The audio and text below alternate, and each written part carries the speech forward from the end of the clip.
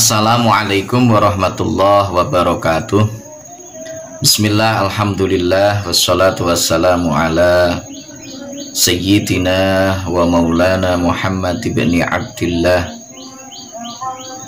Wa ala alihi wa sahbihi Wa man ittaba'a sunnatahu ila yaumil bi'athah. Amma ba'du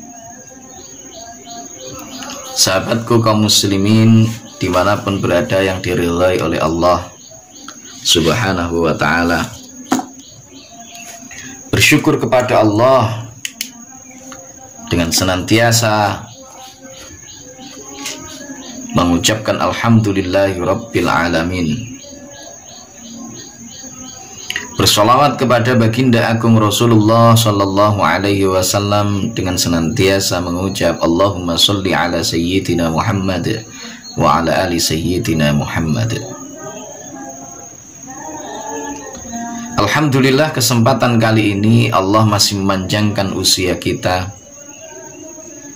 sehingga sampai detik ini kita masih bisa bernafas nyawa masih melekat dalam diri kita tanpa kita ketahui kapan Allah Subhanahu wa taala akan memanggil kita untuk sowan menghadapnya. Terlebih saat ini kita berada di bulan Ramadan, bulan yang penuh barokah. Bulan di mana kita disyariatkan untuk menjalankan ibadah puasa di siang harinya dan disunnahkan untuk senantiasa menghidupkan malam malamnya dengan ibadah-ibadah sunnah untuk mendekatkan diri kita kepada Allah subhanahu wa ta'ala. Sahabatku kaum muslimin di mana pun berada yang dirahmati Allah salah satu di antara hikmah atau manfaat dari puasa yang kita jalankan di bulan suci Ramadan ini adalah bahwa puasa merupakan perisai. Puasa merupakan benteng bagi kita yang akan melindungi kita dari sengatan api neraka. Di dalam sebuah hadis kudsi yang diriwayatkan oleh Imam Ahmad beliau baginda agung Rasulullah Shallallahu Alaihi Wasallam yang menyandarkan ucapan beliau kepada Allah Subhanahu wa taala. Karena memang merupakan hadis qudsi yaitu hadis yang sumbernya langsung berupa wahyu dari Allah namun redaksinya berasal dari baginda agung Rasulullah Shallallahu alaihi wasallam. Itulah pengertian dari hadis qudsi. Sabda beliau asyamu junnatun yastajin yastajannu bihal abdu minan nar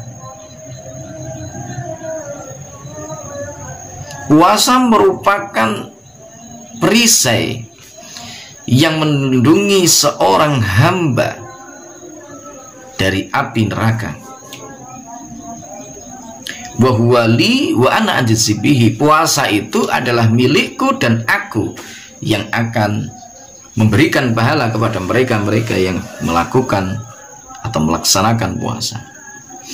Sahabatku kaum muslimin di mana pun berada yang dirahmati Allah Mari kita coba untuk mengurai apa sebenarnya yang dikehendaki Allah subhanahu wa ta'ala melalui lisan baginda agung Rasulullah sallallahu alaihi wasallam dalam hadis kudsi ini Bahwa asyamu junnatun Puasa itu merupakan perisai yastajinu bihal abdu minan nar yang mampu melindungi seorang hamba, seorang muslim, seorang mukmin dari api neraka.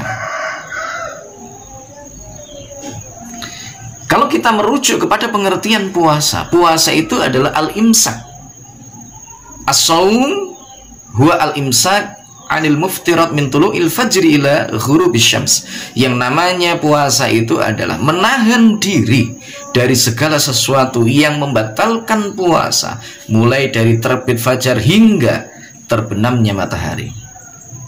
Maka saudaraku kaum muslimin di mana pun berada Ketika puasa itu betul-betul dilakukan dengan sebenar-benarnya Maka seorang mukmin, seorang hamba Tentu dia tidak akan pernah melakukan hal-hal yang bisa membuat puasanya batal Pertama. Yang kedua, dia tidak akan pernah melakukan puasa. Yang puasanya itu sia-sia saja. Karena disebabkan dia melakukan hal-hal yang menyebabkan nilai kualitas puasanya itu akan hilang. Karena itulah maka puasa ini sesungguhnya tidak sekedar menahan diri dari lapar, dahaga, dan seterusnya, tidak. Tetapi dia juga merupakan perisai yang membentengi diri seseorang, diri seorang mukmin dari hal-hal yang dilarang oleh Allah dari kemaksiatan kepada Allah Subhanahu wa taala terlebih ketika dia sudah melakukan hal itu semua maka dia tidak akan masuk ke dalam neraka karena dia telah menghindarkan dirinya mencegah dirinya dari melakukan perbuatan-perbuatan perilaku yang bisa menjerumuskan dia ke dalam api neraka. Itulah makna bahwa asyamu junnatun yastajinnu biha al-abdu minan nar. Seorang yang berpuasa dan dia ingin mendapatkan hikmah yang besar dari puasa yang dia lakukan, tentu dia tidak akan melakukan kemaksiatan karena maksiat bisa mengurangi nilai kadar dari puasa yang dia lakukan. Tentu dia tidak akan melakukan riba. Mengapa? Karena riba bisa menghabiskan pahala dari puasa yang dia lakukan. Tentu dia tidak akan melakukan zina. Kenapa? Karena zina secara otomatis akan membatalkan puasa pun pula akan merubah puasa yang dia lakukan menjadi sebuah siksa karena puasanya sudah hilang dengan dosa yang dia lakukan. Karena itulah puasa merupakan junnatun yastajinnu bihal abdu minan. Puasa itu merupakan perisai yang bisa membentengi diri seseorang untuk masuk ke dalam api neraka. Dan ingat, Orang-orang yang melakukan puasa tetapi mereka tidak mampu untuk menahan dirinya dari segala sesuatu yang mengurangi kadar nilai dari puasa itu.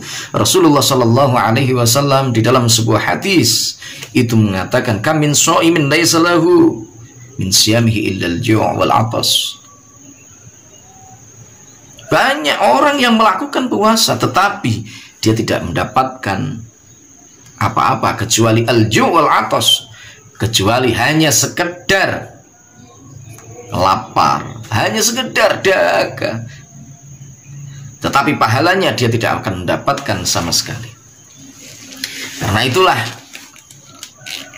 puasa yang sesungguhnya adalah puasa yang mampu untuk membentengi kita dari api neraka dan membentengi kita juga artinya dari segala sesuatu perbuatan-perbuatan yang membuat nilai dari puasa itu hilang. Pada akhir hadis tersebut Rasulullah Shallallahu Alaihi Wasallam bersabda wahwa li wa ana ajzibihi. Sekali lagi ini sabda Rasul yang disandarkan kepada Allah karena ini adalah hadis kudsi berarti Allah yang kemudian bersabda Allah yang berfirman tetapi melalui lisan Rasulullah Shallallahu Alaihi Wasallam. Itulah pengertian hadis kudsi wa huwa li wa ana ajzibihi puasa itu adalah milikku kata Allah. Wa ana ajzibihi aku yang akan memberikan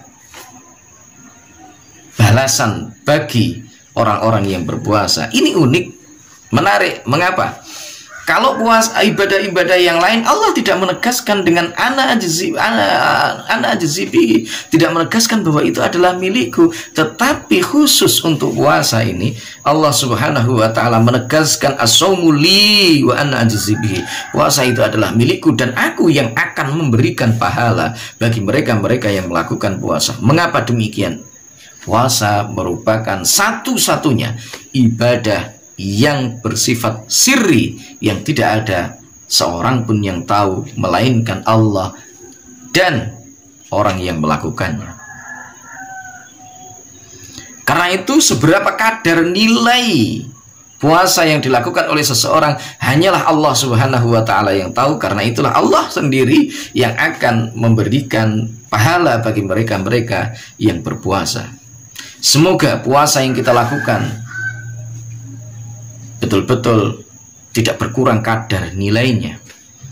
Sehingga puasa kita tidak hanyalah sekedar lapar dan dahaga, melainkan kita bisa menjadikan puasa yang kita miliki ini adalah jannatun yastajinnu bihal abdu minanna sebagai sebuah perisai yang bisa melindungi diri kita dari api neraka Allah Subhanahu wa taala. Terima kasih. Semoga bermanfaat. Wallahul muwaffiq ila aqwamit thoriq. Billahi taufiq wal hidayah wa minar rasul sallallahu alaihi wasallam asy-syafa' wa tarbiyah wa minal khaus radhiyallahu an an-nadrah wal barakah wal karamah Wassalamualaikum warahmatullahi wabarakatuh.